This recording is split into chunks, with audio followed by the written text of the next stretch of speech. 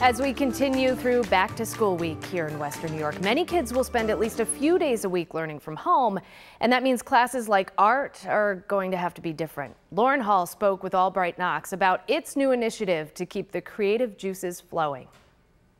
Well, with so many kids remote learning this year, the Albright Knox Art Gallery is adding a little more virtual programming to the calendar to give them access to that art education that they may be missing out on. The gallery will continue their free virtual family fun days on the second Sunday of every month, including this upcoming Sunday.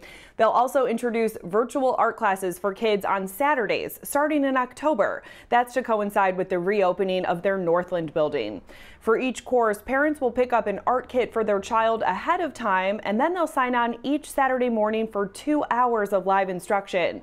Director of Education and Community Engagement Jennifer Foley says she believes that for this generation of students, doing more art at home may actually lead them to develop lifelong habits. You know, sometimes by the time that people get to high school, they're not actually doing art classes anymore. And then, you know, that after high school, you know, you may not have, you know, if you go to college, you may not um, take art classes or um, it just may not be part of your practice. So if you're if it hasn't already kind of been built into what you do um, outside of school, then then we lose that outlet.